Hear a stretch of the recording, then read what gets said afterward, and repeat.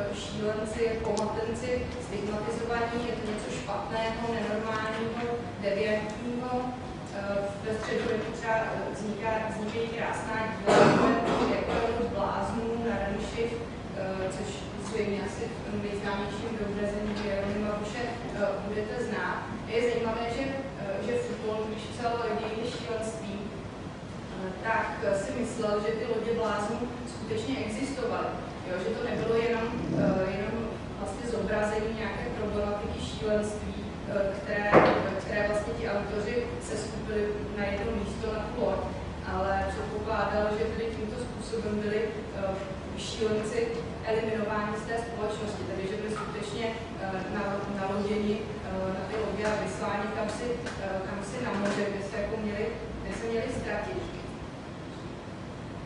Co se týče západní kultury, tak samozřejmě jsme velmi ovlivněni křesťanstvím a to jako takové nahlíželo kulturního šílenství a duševní poruchy z větší části jako dřív nebo posedlost démony či ďáblem, ale samozřejmě záleželo, co ten, který člověk slyšel nebo viděl, třeba za halucinace, pokud se to, eh, pokud se to tomu církevnímu paradigmatu moc eh, nezdálo, tak to bylo spíš tedy eh, interpretováno jako posedlost ďáblem, nicméně pokud, pokud to do církevního paradigmatu zapadalo, potom mohlo jít o slyšení třeba božího hlasu a podobně. To už záleželo na té jednotlivé interpretaci. Nahlížení na duševní poruchy jako na nemoc je relativně novodobé. K té ambivalenci křesťanské nahlížení na duševní poruchy patří samozřejmě to, že v knize knih se píše, že blahoslavení chudí duchem, nebo jejich je nebeské království. Já přiznám, že tady třeba teolog, nebo se v těchto věcech vyzná, tak přiznávám, že taky vím, že už se teď spekuluje o tom, že konkrétně tento citát je, je v podstatě důsledkem špatného překladu. Zřejmě původně tedy znamená něco jako blahoslavení chudí z ducha, nebo děti nebeské království, ale znamená to v podstatě ti, kteří se, kteří se rozhodli být chudí, tak jsou blahoslavení, nicméně, by se mi sem úplně nehodilo, takže jsem nechala tento původní změnit. tak, co se týče toho lékařského přístupu k duševním poruchám. Klasická medicína řeší spíše proximátní mechanizmy duševních poruch, anatomické, fyziologické, biochemické, dá se samozřejmě na genetickou stránku. Moderní medicína a lékařství je známá taky tím, že vytváří velmi rozsáhlé klasifikační systémy duševních poruch, kdo měl někdy v ruce nebo mohl nahlédnout do diagnostického a statistického manuálu duševních poruch, tak ví, o čem hovořím. S čímž cílem toho lékařského přístupu je samozřejmě diagnostikovat danou poruchu, léčit ji, případně vyléčit, nebo alespoň do pomoci tomu člověku žít nějaký plnohodnotný život v té dané společnosti. Samozřejmě procesem diagnoze těch jednotlivých rozpoznání jednotlivých příznaků a symptomů. V 60. letech se minulého století se stal docela velký, velký psychiatrickém chápání, protože do té doby hodně převládaly freudiánské a jungiánské představy o, o vzniku duševních poruch, které kladly důraz třeba na vlivy primární rodiny a podobně. No a od 60. let, kdy se zároveň rozvíjí farmaceutická léčba, tak dochází k velkému výzkumu v oblasti právě zmíněné genetiky, biochemie, fyziologie, ba i sociologie duševních chorob. Tenhle ten posun, nebo tomuto posunu se říká od, řekněme, mysli k mozku, nebo je from mind to brain. A je nutno poznamenat, že psychiatrie od té doby učinila obrovský pokrok v léčení, zejména právě mentálních poruch, které jsou organického původu. Ale důležité je uvědomit si, že zdaleka ne všechny duševní poruchy jsou způsobeny organickými poruchami. To, na co, na co poukazují hm, evolučně psychiatričtí autoři, je to, že i přes stovky a tisíce různých projektů a studií, které se zaměřují na výzkum duševních vlastně, vlastně v moderní psychiatrii neexistuje jednotná nebo jednotný nějaký koherentní teoretický rámec lidského chování. Takže vlastně není možné vytvářet hypotézy na základě. A autoři zdůrazňují, že je potřeba kromě mezioborového přístupu k vlastně zkoumání a objasňování duševních poruch, tak také toho jednotného teoretického rámce, jenž by umožňoval vytvářet a vlastně testovat, testovat hypotézy. A to se evoluční přístup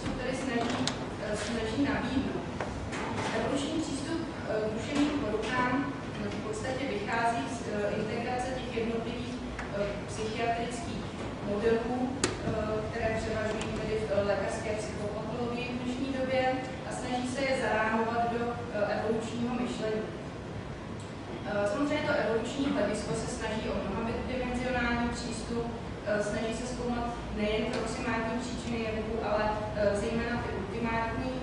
A samozřejmě je důležité říct, že si nějak nekonkurují, nekonkurují to evoluční hledisko, eh, nechce vytvářet nějaký protipol těm proximátním mechanismům, ale naopak tvoří nebo snaží se vytvořit, nabídnout určitý celek poznání daného jevu právě pomocí vysvětlování ultimátních příček.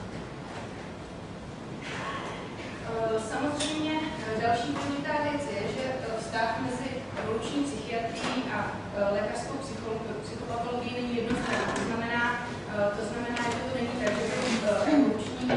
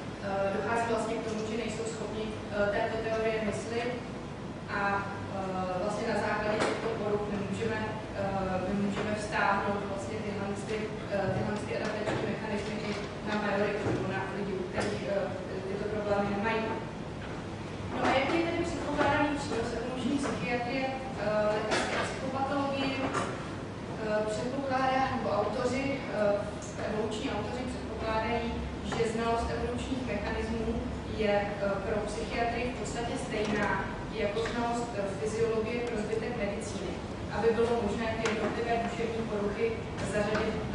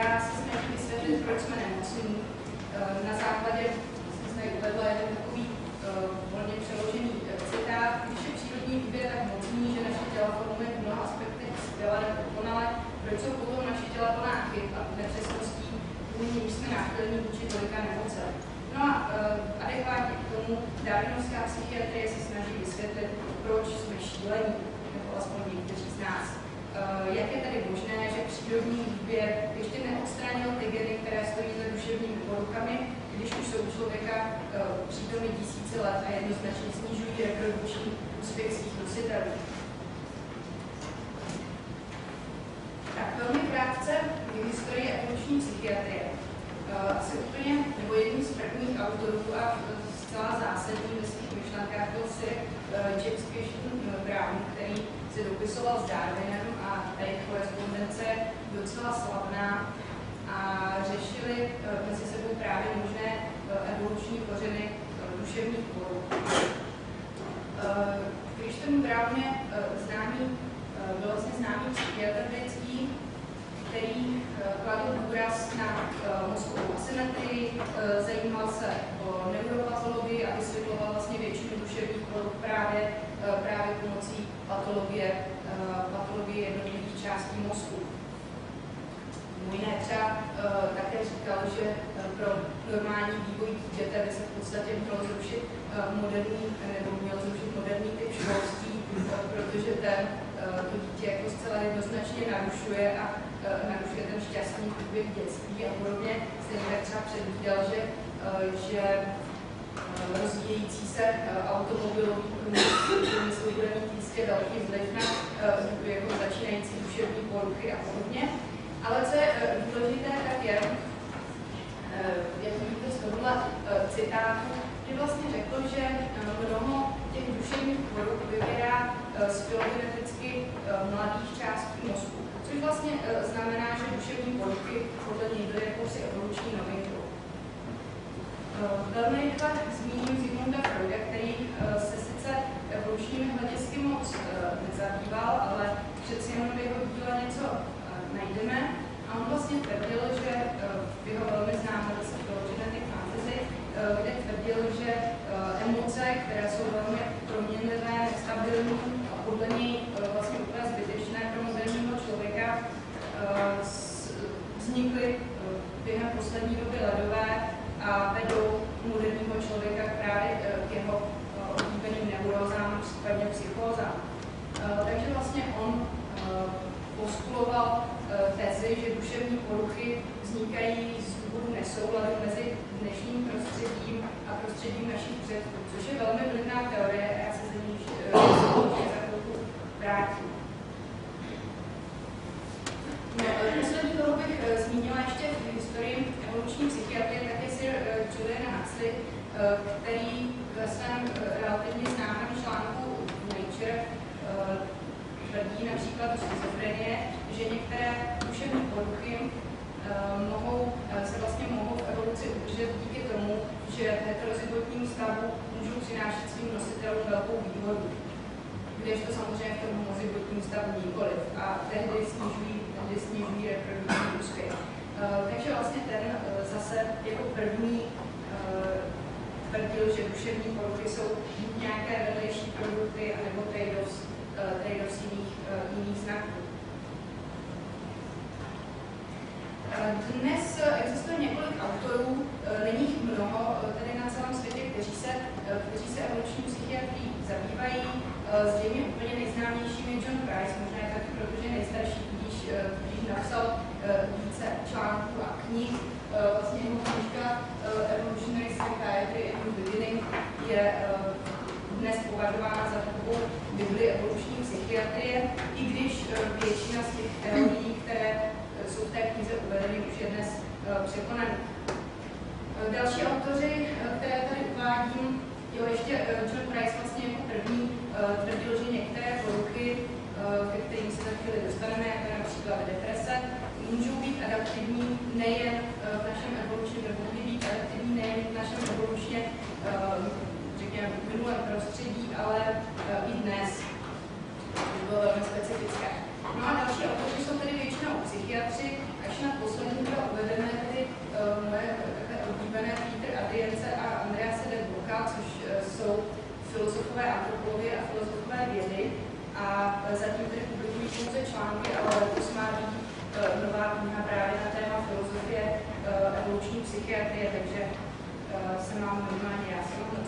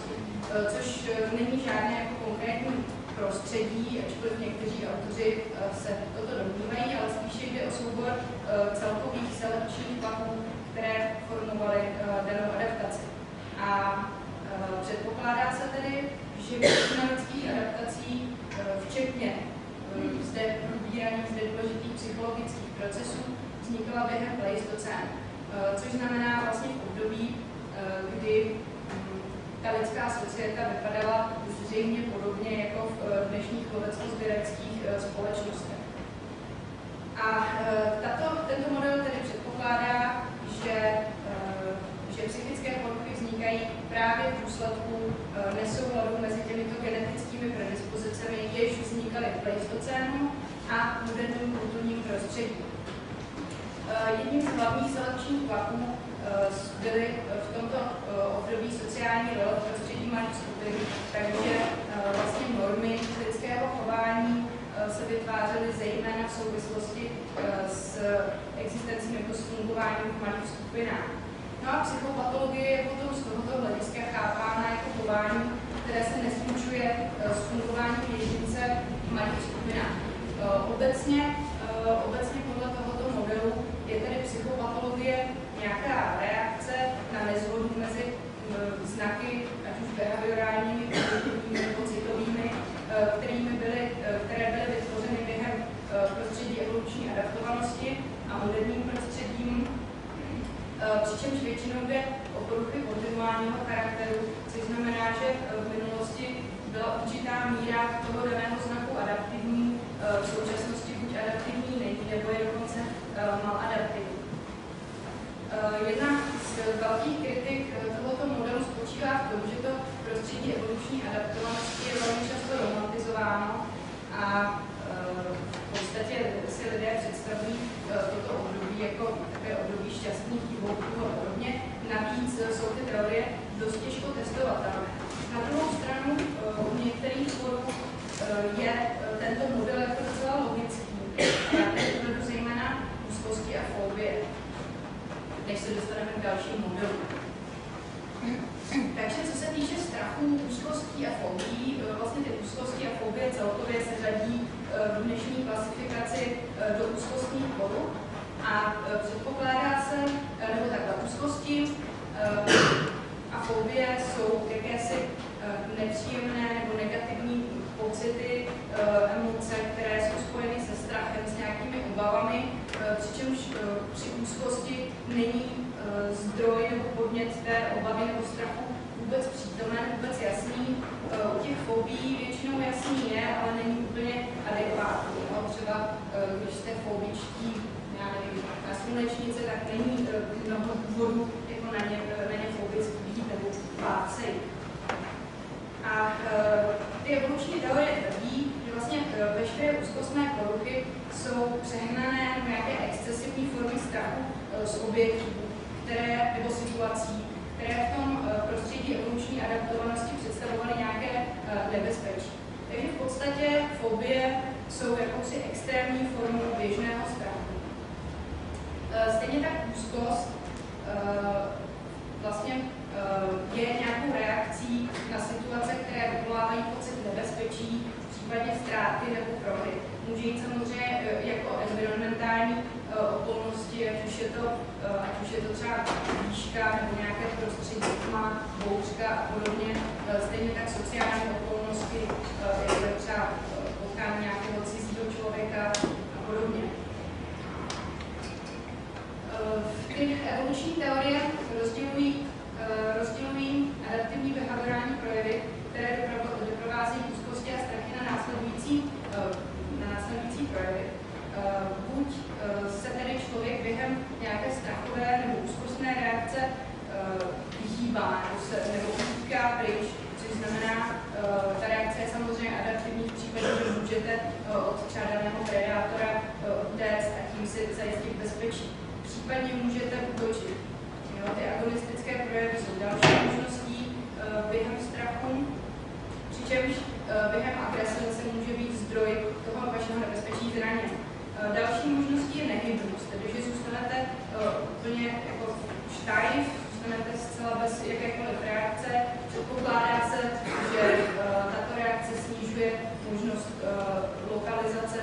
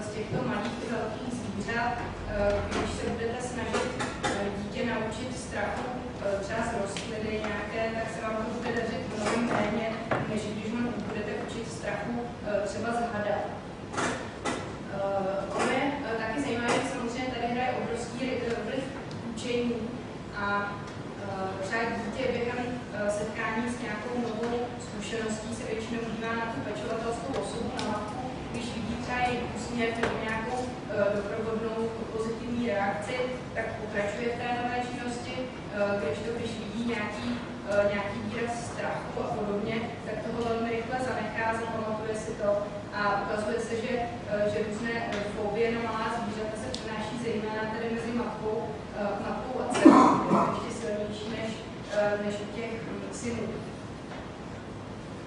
Co se týče agorafobie nebo, nebo strachu z otevřených veřejných prostor, ten může souviset s tím, že samozřejmě toho veřejného nebo otevřeného prostoru existuje riziko mnoha nebezpečí, ať už je to útok predátorů, anebo, anebo nějakého člena cizí skupiny a podobně. No a co se týče těch sociálních strachů celkově, tak asi nejhorší, co se mohlo v prostředí evoluční adaptovanosti stát, tak bylo vyloučení ze sociální skupiny. Protože tím je člověk vystaven vlastně všem ostatním možným nebezpečím, které jsem tady některé zmínila, což znamená predátorům, stejně tak neznámému teritoriu, neznámému prostředí a podobně. A ukazuje se, že, že když člověk chce být přijat do nějaké nové skupiny, je velmi praktické být mírně. Projevy mírné stydlivosti jsou brány jako pozitivní znak toho nového člena a je potom mnohem lépe přijat do této nové skupiny. Stejně tak se ti jedinci snaží alespoň ze začátku zapadnout svým vzhledem, chováním, řečí, vším možným, aby nějak nevybočovali z té skupiny, aby byli zajedno, aby byli přijati a nebyli, nebyli vypuzeni. Samozřejmě tyto strachy, Eh, které nebo obavy eh, z, z toho vyloučení ze skupiny eh, se potom mohou zase projevit v nějakých extrémních formách, jako je zcela výbava, osobnostní porucha nebo, nebo obecná sociální fobie, případně i dysmorfofobie, kdy se vlastně člověk snaží do té skupiny zapadnout svým vzhledem, svou postavou a podobně. No a co se týče nespecifikované generalizované úzkostné poruchy, ta většinou vzniká někde v otevřených prostorách, na jednoho člověka přepadne obrovská panika, úzkost, strach, vůbec neví z čeho, utíká domů, vyhledává, vyhledává své známé a kamarády a může to vlastně přejít, nebo ta, tento, tyto záchvaty paniky můžou přejít v tu generalizovanou úzkostnou poruchu, kdy do těch člověk odmítá v podstatě vycházet ze svého uklidu a opouštět svou rodinu nebo své přátelé, kterým, kterým věří. Tak do úzkostních poruch ještě patří obsesivně kompulzivní poruchy, které vlastně spočívají, nebo ty obsese jsou jakési útkvělé představy, které člověk musí nějakým způsobem naplňovat právě v těch kompulzních nebo rituálních činnostech.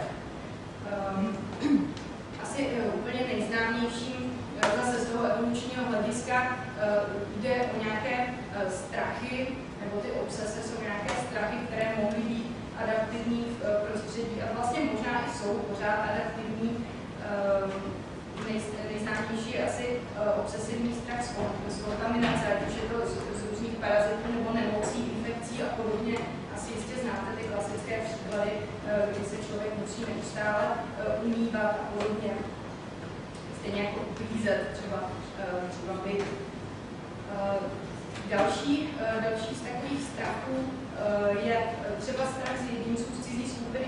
Předpokládá se, že vlastně už velmi dávno vzniklo jakési kompulzivní vydání pro svého střežku, vydání dveří, zámků, jo, takový ten klasický kdy člověk je asi způsobit si opravdu zamknout ty dveře a musí se o tom ujišťovat v podstatě pořád, dokonce někteří si dávají uh, v noci, uh, já třeba počítat hodinách a chodí ten zámek kontrolovat. Uh, stejně jako v tom prostředí evoluční adaptovanosti se lidé mohli bát nedostatku potravy nebo dalších zdrojů, což dnes může vést k nějakému obsesivnímu přejídání nebo sběratelství. To sběratelství a hromadění věcí je uh, hodně zajímavá záležitost. Uh, tímto vlastně přístupem lze vysvětlit různé sbírání, zejména tedy nástrojů, různých zbraní, ložených a pohodných výrobků a podobně. No, co se, co se týče vlastně citlivosti těch, těch poruch, v podstatě pokud hovoříme o fobiích i obsesivně kompulzivních poruchách jako o nějakých vrozených mechanismech obrany, tak je zajímavé, že se bojíme jako tolika věcí. Nicméně předpokládá se, že z evolučního hlediska je mnohem lepší se párkrát jako bát něčeho, co tam není, než se jednou splést.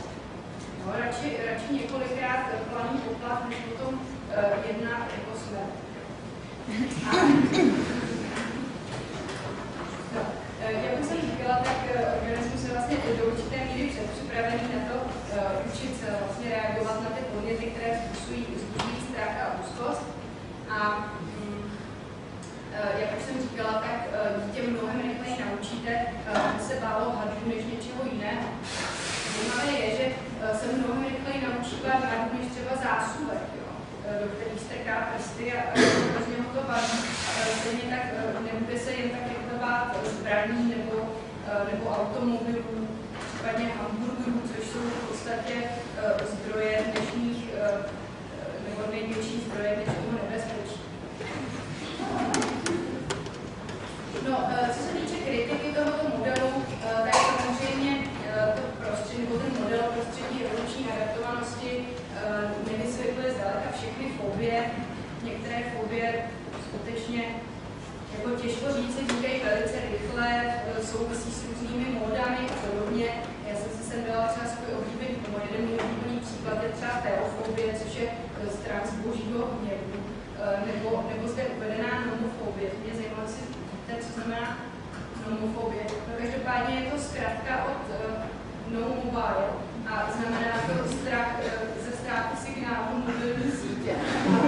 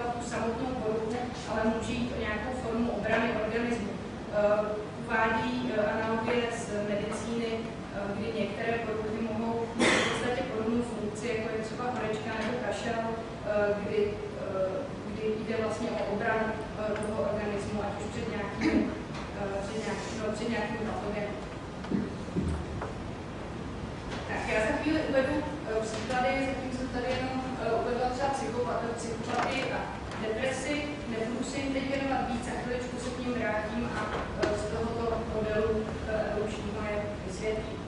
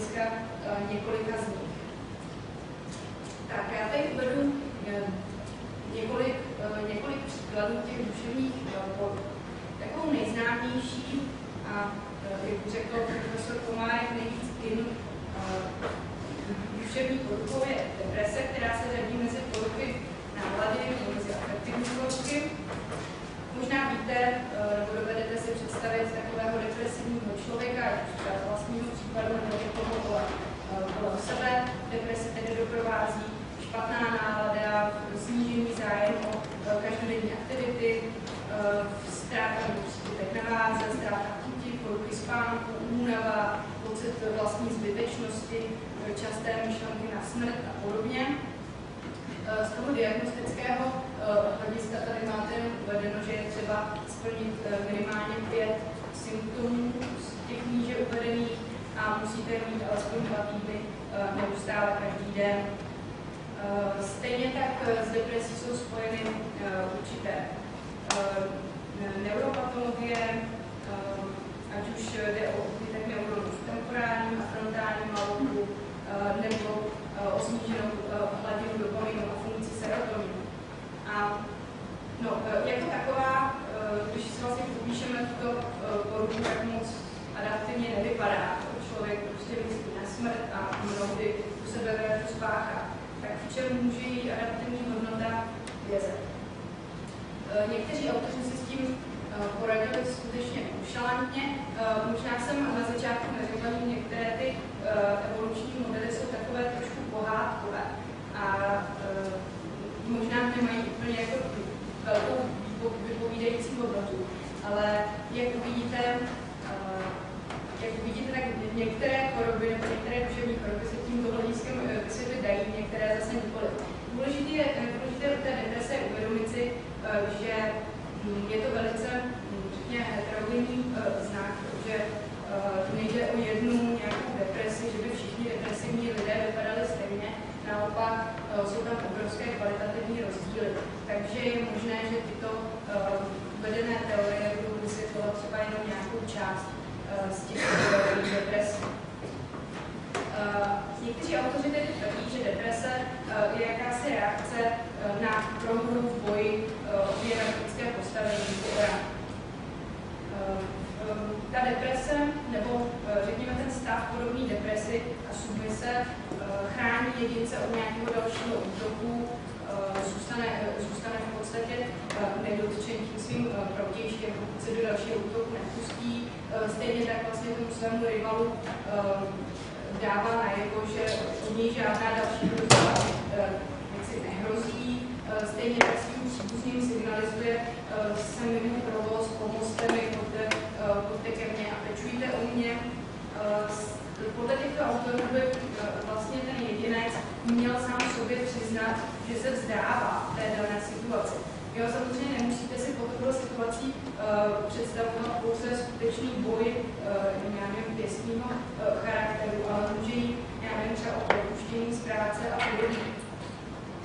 Uh, přičemž velmi důležité, a to, co zdůrazňují tyto autoři, je, že pokud vlastně k přijetí té submisivní role nedojde, uh, tak může ta deprese nebo ten stav subordinace skutečně přijít nějakou chronickou, chronickou depresi. A také vlastně uvádějí, že deprese je vždycky reakcí na nějakou ztrátu reprodukčních zdrojů, ať už tady jde o ztrátu nějakého teritoria nebo místa třeba pracovního, případně partnera a podobně. Uh, samozřejmě tato uh, deprese nebo tento stav může být akutní nebo chronický, to znamená, že buď přijdete o práci, anebo jste nikdy žádnou neměli. Jo? Prostě buď jako zrovna padnete do té deprese, nebo máte chronický depresivní stav, protože jste nikdy, nikdy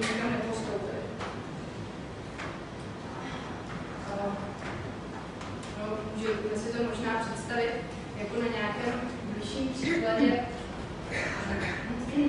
když podáváte ten pracně uh, napsaný článek a uh, pak vám jako přijde to rozhodnutí, navíc se to jmenuje většinou submission, nám přijde to rozhodnutí o tom, že teda článek nebyl přijat, tak si můžete říct prostě, a teď je otázka, teď buď upadnete do depresivního stavu, anebo si řeknete, no dobře, nebudu to posílat do Nature, ale třeba do Proceedings nebo do něčeho jako trošku s nižším, trošku s nižším impactem.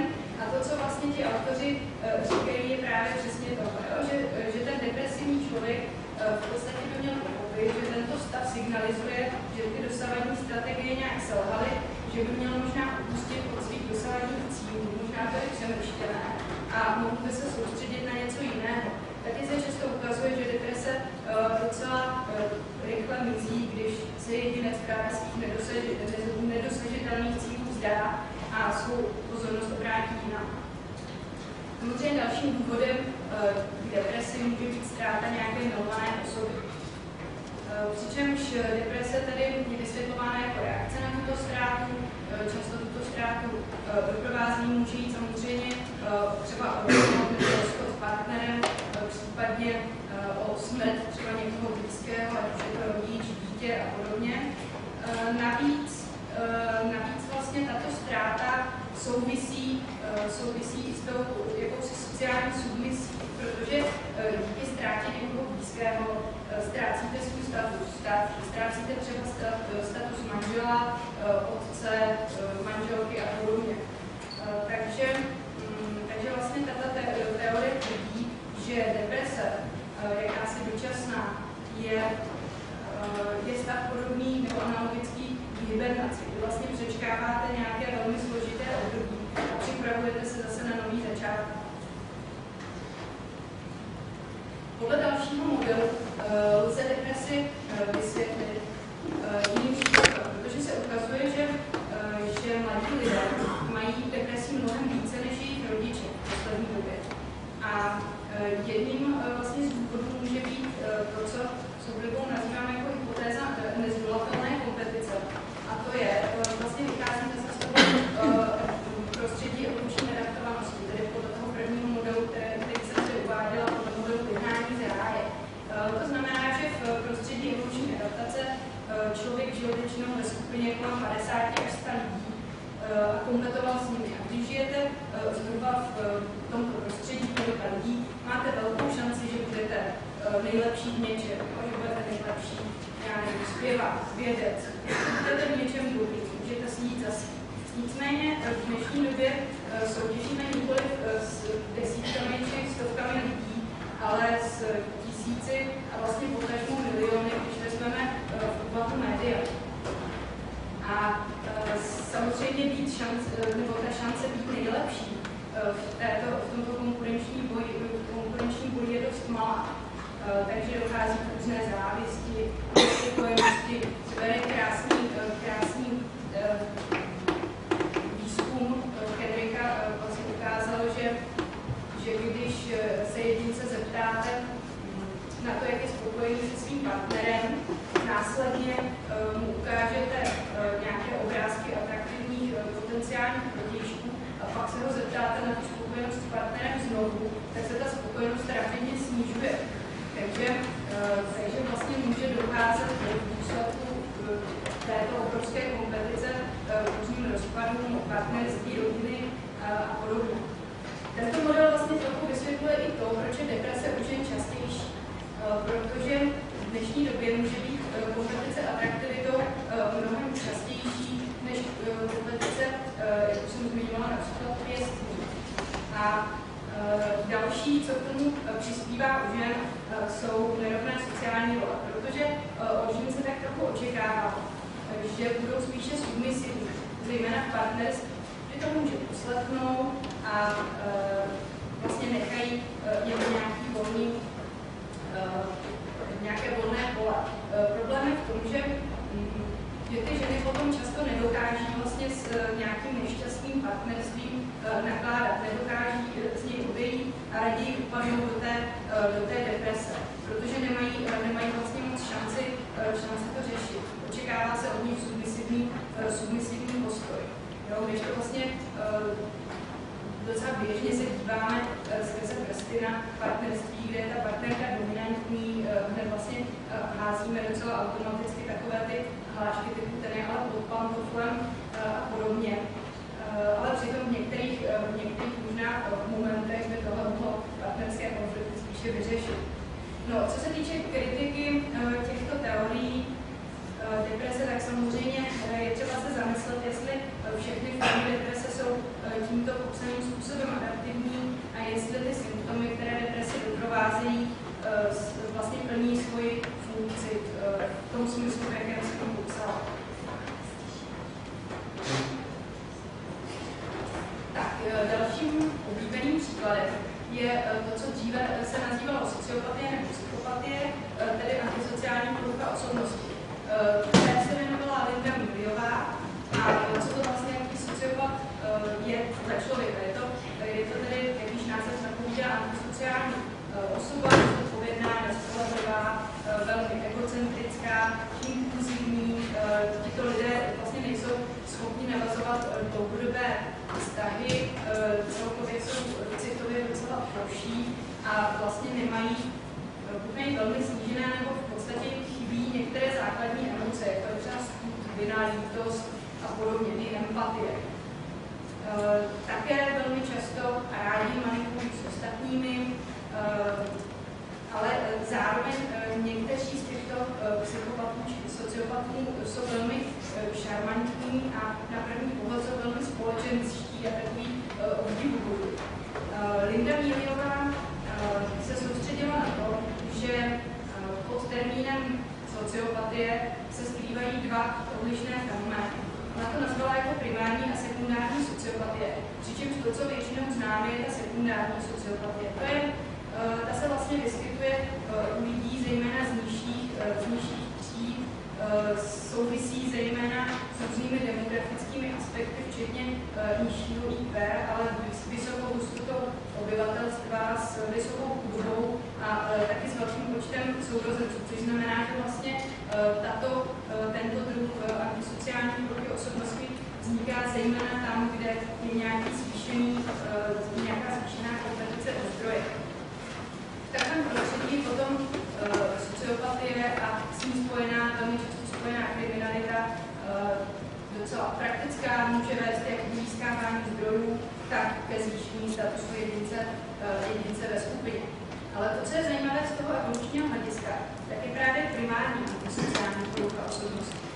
A uh, vlastně ti primární sociopaté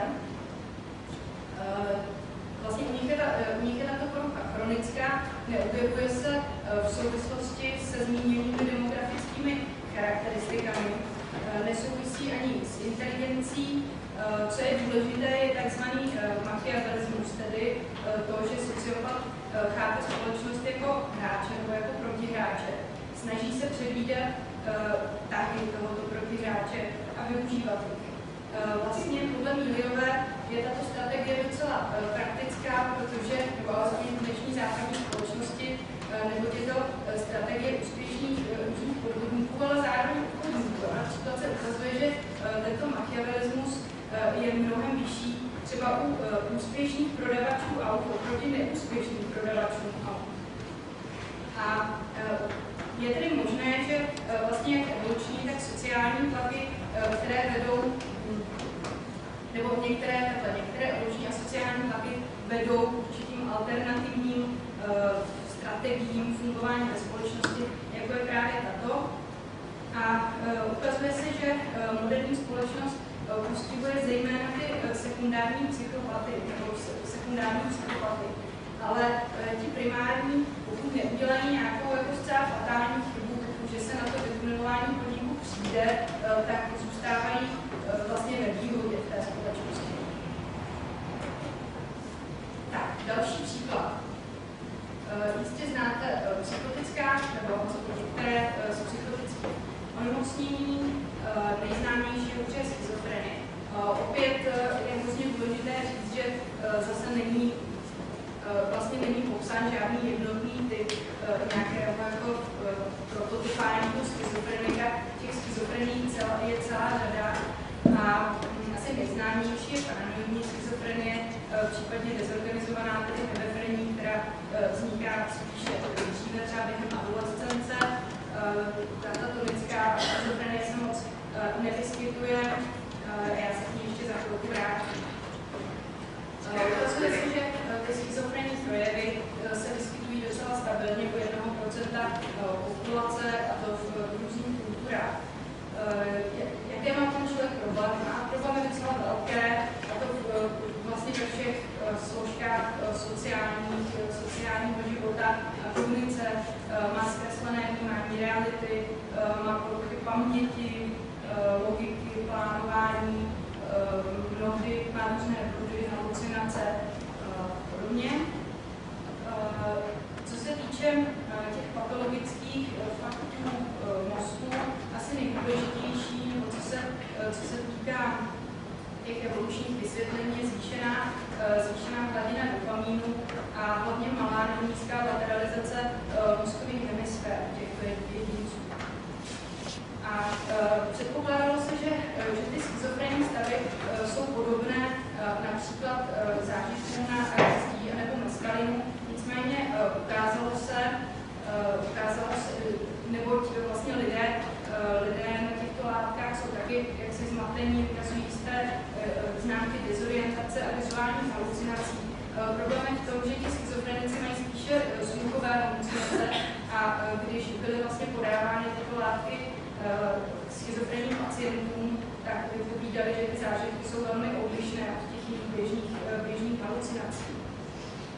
Ale zajímavé je, že i u těch schizofrenních pacientů se, se vizuální halucinace vyskytují a ukazuje se, že transkulturně jsou velmi podobné Eh, a zachovávají se v určité mezi mezipohlavní rozdíly, eh, přičemž ženy většinou, eh, většinou vidí, nebo no, většinou, většinou se ty ženské halucinace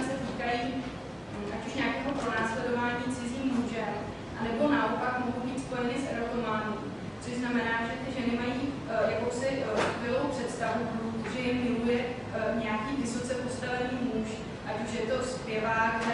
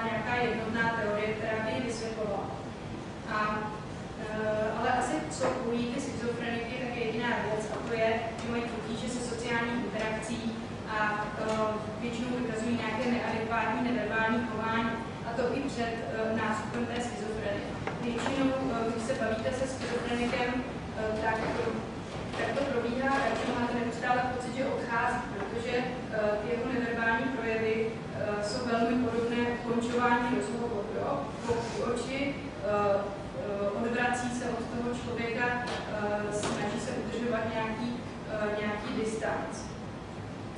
A eh, jednotlivé tedy evoluční teorie se snaží schizofrenie, vysvětlit následujícím způsobem. Podle některých autorů mohla vlastně schizofrenie nést nějakou selektivní výhodu, třeba co se týče vývoje jazyka nebo kreativity. Někteří tvrdí, že příbuzní schizofrenie aqui uh, uma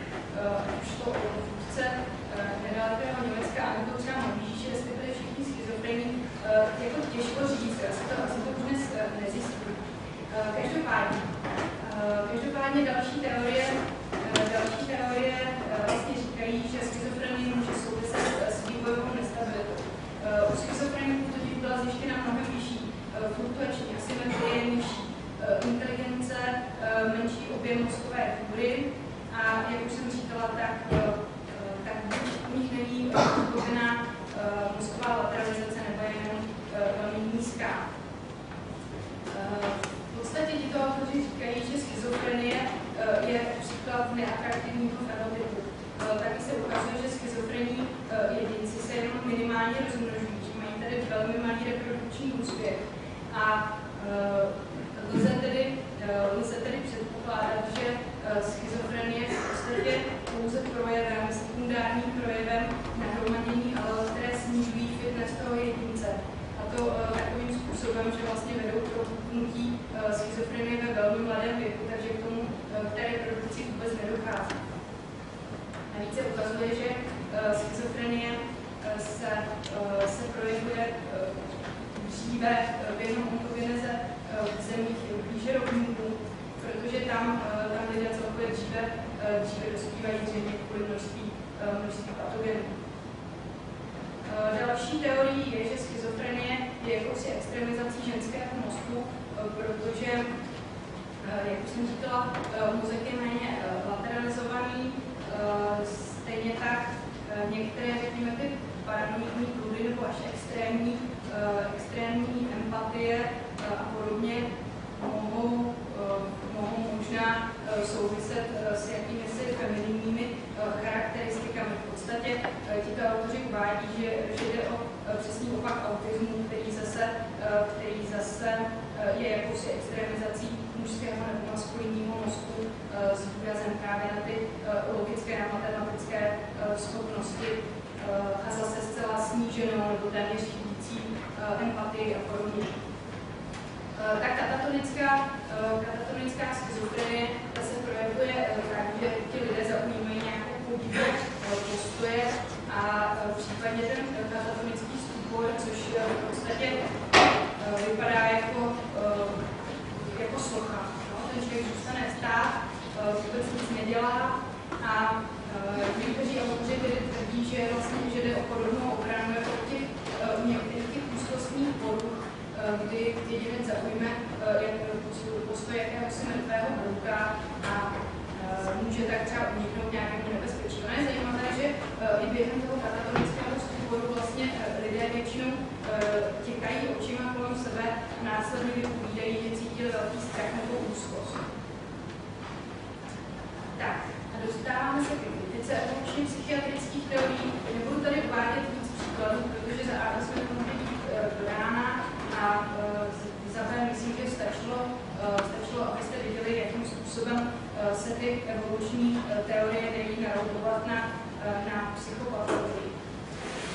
Největší kritika evoluční teorie spočívá zejména, zejména v evoluční psychiatrické teorii, že lze jen těžko sbírat data našich předků a uvažovat hypotézy, hypotézy přímo.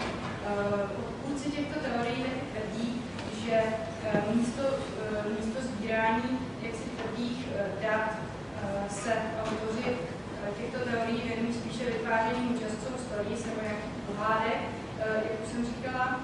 A je pravdou, že těch výzkumů je relativně málo.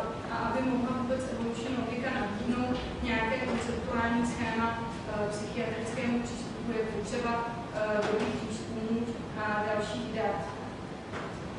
Um, vlastně někteří autoři tvrdí, že na evolučně psychiatrické stanovisko lze aplikovat spíš, spíš metody, které se používají v archeologii, což znamená mezioborový přístup a sbírání jednotlivých, jednotlivých střípků evidencí z různých oborů a z různých pohledů. Stejně tak, které by se dalo postupovat v evoluční psychiatrii. která vychází z archaické mysli a ta samozřejmě žádné, žádné fosílie nezanechala. Se týče toho mezioborového přístupu, lze samozřejmě, měly by se zkoumat také jiné druhy v, jo, v evolučně psychiatrickém kontextu. Jsou zatím jen velmi, velmi sporé výzkumy, které se týkají psychopatologie lidoopů, a to zejména zajetí nebo. A ukazuje se, že vykonávají různé, různé stereotypní pohyby, narušené emocionální reakce jedinců stejného druhu, vlastně ukazují chování, které se v běžných nebo přírodních podmínkách tohoto druhu nevyskytuje. Dalo by se, některé ty symptomy by se daly přirovnat lidí k těm poruchám nálad, různým úzkostním poruchám nebo poruchám příjmu potravy a podobně, ale samozřejmě, jak říkám, těch výzkumů je relativně málo, takže třeba se na tuto oblast určitě více zaměřit. Další, dalším takovým polem, relativně volným polem působnosti je srovnávací výzkum mezi jednotlivými kulturami. Nebo většina teorií, které se evoluční psychiatrie týkají, je pasována spíše na ty západní společnosti. Jak se ukazuje, tak některé, některé duševní poruchy se častěji vyskytují v určitých kulturách. A stejně tak některé kultury nahlížejí, různé kultury nahlížejí jednu duševní poruchu různým způsobem. Například už Benediktová, když psala kulturní vzorce, tak to téma ke konci své knihy narazila a uváděla například schizofrenii, kde vlastně ukazovala tzv. teorii šamanů, tedy říkala, že, že v některých kulturách je vlastně schizofrení člověk považován za velmi výjimečného, specifického um, a zdaleka ne mocného. Stejně tak uváděla homosexualitu, která je zajímavá, to je moje oblíbené téma, já jsem se sexualitě vyhýbala té přednášce a homosexualita vlastně až do 70. let byla chápána jako, jako duševní porucha. Takže vlastně nejen v různých kulturách, ale i během historického vývoje jedné jediné kultury může nastat změna chápání toho, co to vlastně duševní porucha nebo nemoc je a co není. No, z toho sociokulturního pojetí bychom vlastně normu, nebo řekněme normu chápali jako jako znak, který jeho chování které znesnadňuje, případně zcela znemožňuje fungování toho jedince v dané společnosti. Já jsem si neodpustila, dát jsem ukázku z jednoho článku, který jsem našla předevčírem na psychologii.cz a napsal, napsal můj docela neoblíbený autor, ale to je jedno, jde o Jiřího Dvořela, a hovořil tam tedy o homosexualitě, dokonalosti homosexualitě na Nové Gvineji. Pravdou je to, že na Nové Gvineji nebo mnoha kmenech Nové Gvineji skutečně různé homosexuální a homoerotické existují. A uh, já vám schválně si přečtu, nevím, jestli to přečtete všichni, já vám přečtu, co, uh, co tento člověk do webu, který se jmenuje psychologie.cz napsal. Pokud nějaký primitivní a pomalému vymožení intimních cítů generuje nějaké podivné perverzní chování a má ho jako kulturní zvyk, neznamená to, že by takové chování bylo normální. Tak myslím, že to je jen taková otázka toho, by to být jako nemělo. Uh, no. A já bych uh, pomalinku začala poučit tím, co je to tedy vlastně normální. Protože evoluční hledisko uh, nám vlastně poskytuje zcela nový pohled na to, co je normalita. A jak už jsem ukázala vlastně na některých těch příkladech, tak z evolučního hlediska se mnoha emocí a kognitivních funkcí a vzorců chování, které byly nebo jsou považovány za patologické, jeví jako adaptivní, i když jsou mnohdy nepříjemné a případně v této dané společnosti zcela neadekvátní nebo neuznávané. Z toho evolučního hlediska je v podstatě adaptivní nebo normální znak, který je adaptivní. A jak jsme viděli, tak, nebo jak už jsem říkala, tak vážné psychopatologie v podstatě vždycky snižují reprodukční schopnost a organismu. Eh, co se týče hlediska eh, statistické normality, eh, tak mm, vlastně z tohoto hlediska můžeme chápat normu jako, jako většinu. Přičemž odchylka, jakákoliv odchylka od této normy je chápána jako deviace.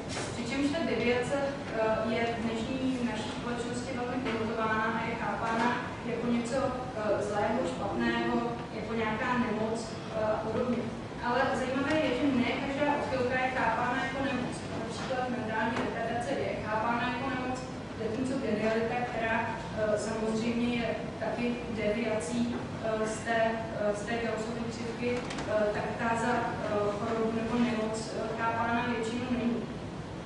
Alespoň dnes v této společnosti. Ono je taky dobré si uvědomit, že to psychiatrické hledisko je stížené tím, že, že jen velmi těžko se duševní porucha diagnostikuje a pozná. Protože když si zlomíte nohu nebo vás bolí zub, tak poznáte, že máte jít. Ale vy to poznáte u té duševní poruchy. Když se začnete cítit nějak jako divně, dáte si, jako velmi těžko přijdete na to, že vidíte něco, co tam není, no, protože prostě ta halucinace jako z definice, z definice funguje, takže o tom nevíte, protože věříte tomu, co vidíte. Takže velmi často na tu duševní poruchu upozorní spíše blízké okolí toho, toho člověka, než ten člověk sám. A vlastně objektivní nějaká diagnoza té, té poruchy je spíše sekundární záležitost. No a ještě ohledně, ohledně chápání té normality, asi důležité je podotknout, že ten evoluční přístup se snaží nehodnotit. Jo, že vlastně je založený na tom biologickém přístupu, který hm, jakési odchylky od normy považuje za různé strategie nebo za v podstatě za diverzitu, variabilitu, za variace, kdežto ten lékařský přístup se dívá na ty odchylky v tom hledisku nenormy, deviací, v případě sexuálních odchylek, parafílí nebo nemoci celkově. Samozřejmě je nutno, je nutno podotknout, že ten hodnotící přístup je v medicíně jako docela logický, jako třeba kdy jde o nemoc a kdy o zdraví. No a na závěr, na závěr bych jenom tak nadhodila některé problémy, které, které jsou tady zřejmě mnohem větší odborníci než, než já. Samozřejmě evoluční psychiatrické hledisko má své důsledky nejen pro to lékařské nazírání na duševní poruchy, ale i pro evoluční vědy samotné. Vlastně ukazuje, že ty mentální poruchy můžou ukazovat, že evoluce nemusí nutně vést k maximalizaci zdraví, ale spíše reprodukčnímu úspěchu. Samozřejmě, že tyto dvě dvě kvality spolu svým způsobem velmi silně souvisí, ale jak jsme viděli, ne nutně, ne úplně dokonale. No a samozřejmě evolučně psychiatrické hledisko dává zcela živnou půdu pro filozofické otázky, do kterých já se tady nebudu vůbec pouštět, pouze, pouze nadhazuji v podstatě jakousi otázku, co je vlastně objektivní či subjektivní prožívání a nazírání světa z evolučního hlediska by se dalo říct, že přežití závisí na tom, že naše skutečnosti, zkušenosti a naše vnímání odráží realitu. Otázka je samozřejmě do jaké míry, protože u těch schizofrenních, například u těch schizofrenních pacientů vidíme, že s jedním důvodů nadbytku dopamínu v podstatě nemají jakýsi selekční, nemají jakousi selekční záklopku na, na tedy vybírání nějakých relevantních informací, které přicházejí z nížka a přikládají důležitost vlastně zcela nedůležitým zkušenostem a skutečnostem. No a poslední otázkou či námětem k diskuzi nebo přemýšlení je, zdali mentální poruchy, které mohou být určitou evoluční novinkou, nejsou vlastně charakteristickým atributem, atributem člověka, tedy sapiens.